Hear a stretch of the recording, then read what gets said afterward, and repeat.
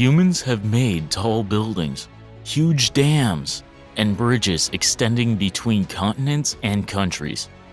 But what if one of those huge man-made structures collapsed? What would happen if the Burj Khalifa collapsed, for example?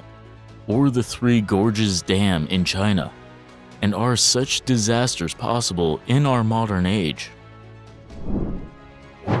On January 4th, 2010, Dubai's Burj Khalifa became the tallest skyscraper in the world, rising to a dizzying height of 2,716.5 feet from the desert floor.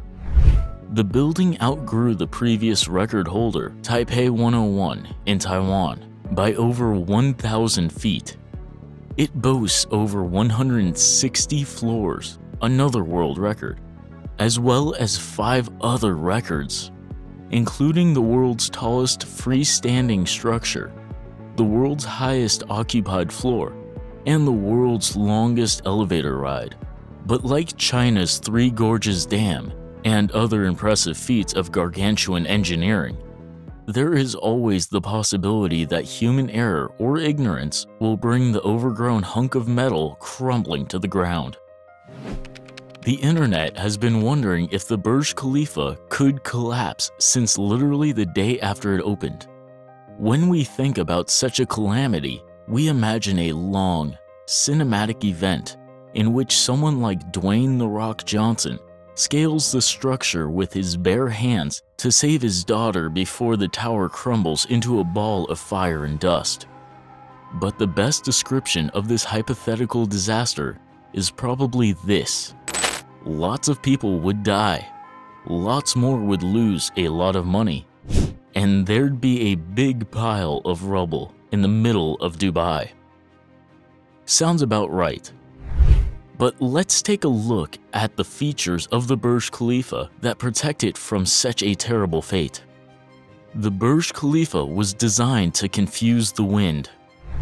All skyscrapers have to deal with the problem of wind, and the architects of the Burj Khalifa came up with a pretty ingenious way to keep the building upright in gusty conditions. The tower is composed of several smaller stalk-like towers set around a central spire. This apparently wacky design actually serves the function of not allowing winds to form vortexes or powerful eddies of air currents that would damage the tower.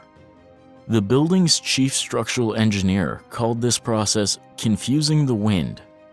It basically just prevents the wind from being able to grab hold of the building towers like Taipei 101, Citigroup Center in New York City, and the John Hancock Building in Boston use something called a tuned mass damper to reduce the effect of wind. But it's not for structural soundness. This is a giant ball suspended at the top of the tower that swings the opposite direction from the way the wind pushes the building in order to keep it from swaying and making the people inside sick or uneasy. Despite its innovative design, the Burj Khalifa still rocks back and forth about 2 meters at its very top. But don't worry, it won't collapse anytime soon.